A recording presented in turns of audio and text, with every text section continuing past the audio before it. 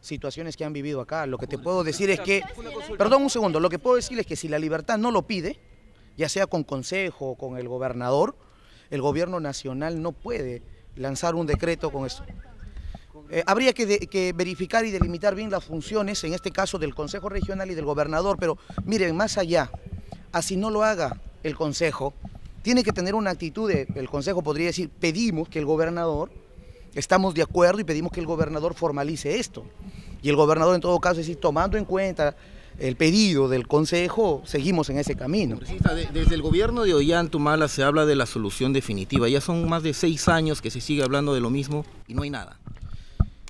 Bueno, la solución definitiva está en camino, porque el tema es, es difícil. Ahora, en una reunión con el ministro de Transportes, Edmel Trujillo, y lo digo aquí públicamente, me dijo, este ministerio se compromete públicamente.